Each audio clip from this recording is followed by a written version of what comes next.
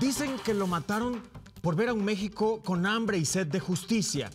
Lo cierto es que el asesinato de Colosio, el candidato del PRI a la presidencia de 1994, es una herida que no termina de cerrar en México. La recién desclasificación del expediente ha vuelto a poner el dedo en la llaga. Y es que según Mexicanos contra la Corrupción y la Impunidad, después, de, después del magnicidio, el expresidente Carlos Salinas le marcó a Mario Aburto, el asesino solitario, pero que este no atendió la llamada. En la supuesta declaración, Salinas le habría dicho al inculpado que, a cambio de lo que quisiera, él, Aburto, tendría que señalar algún partido político por el crimen.